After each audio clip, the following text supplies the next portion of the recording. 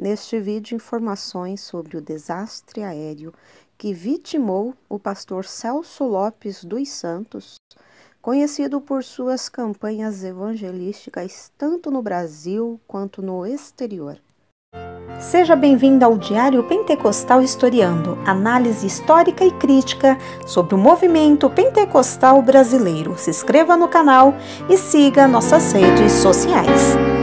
Povo que não conhece a sua história está condenado a repeti-la.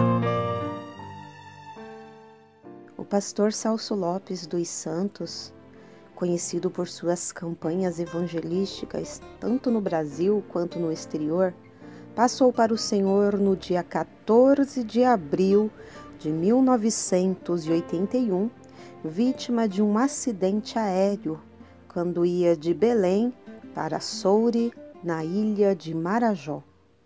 O táxi aéreo em que viajava de prefixo PT MGB da empresa Covax sofreu pane e caiu na Baía de Guajará 12 minutos após levantar o voo. Com ele, morreram mais de três passageiros, tendo escapado o piloto e um funcionário das centrais do Pará. O acidente.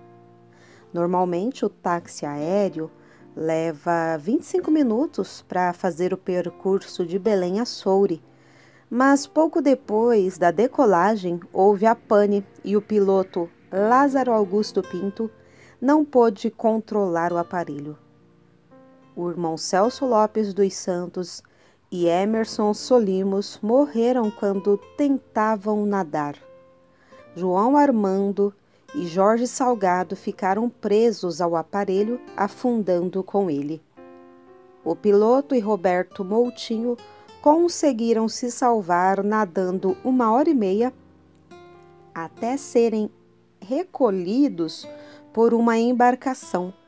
O corpo do irmão Celso Lopes dos Santos foi encontrado cinco dias após, tendo sido sepultado em São Paulo.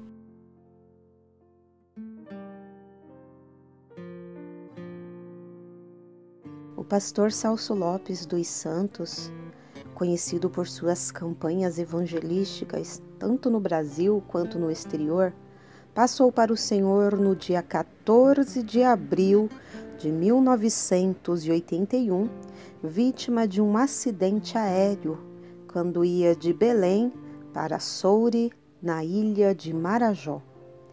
O táxi aéreo em que viajava de prefixo PT MGB da empresa Covax sofreu pane e caiu na Baía de Guajará 12 minutos após levantar voo.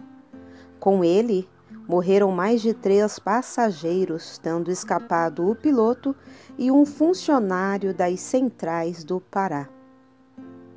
O acidente. Normalmente, o táxi aéreo leva 25 minutos para fazer o percurso de Belém a Soure mas pouco depois da decolagem houve a pane e o piloto Lázaro Augusto Pinto não pôde controlar o aparelho. O irmão Celso Lopes dos Santos e Emerson Solimos morreram quando tentavam nadar. João Armando e Jorge Salgado ficaram presos ao aparelho, afundando com ele. O piloto e Roberto Moutinho conseguiram se salvar nadando uma hora e meia até serem recolhidos por uma embarcação. O corpo do irmão Celso Lopes dos Santos foi encontrado cinco dias após, tendo sido sepultado em São Paulo.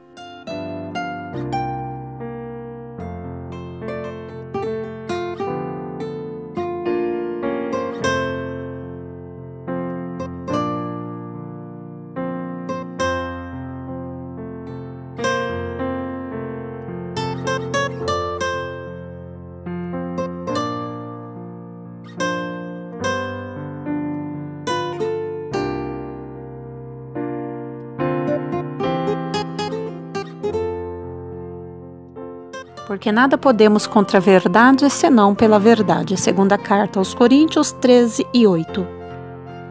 Se você gostou do conteúdo deste vídeo, se inscreva no canal, deixe o seu joinha, compartilhe e ative o sininho para receber do YouTube as notificações dos novos vídeos.